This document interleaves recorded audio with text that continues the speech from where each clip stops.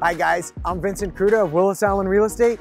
Today, I'm gonna give you my top five family-friendly beaches.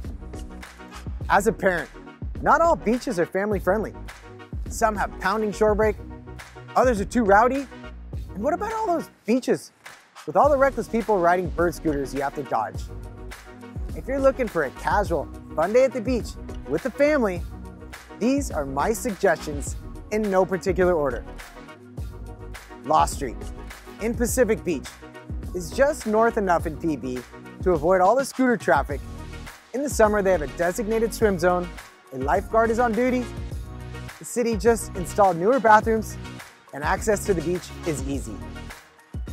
15th Street in Del Mar, or any beach in Del Mar, are great. Perfect for the family as they have a grassy park with a playground, lifeguards, and restrooms. On crowded days, parking can be tough, so keep that in mind. Coronado Beach is perfect for kids because of the slow slope in the ocean, plus it's in the backyard of the famous Hotel del Coronado. Plenty of public restrooms, rock mounds for tide pooling with your kids, and you'll often see elaborate sandcastles created by pros.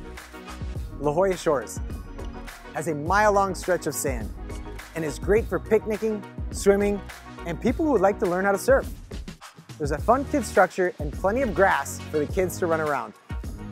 Cardiff State Beach is a bit north of San Diego, and there's plenty of parking right next to the beach so you don't have to haul your stuff too far.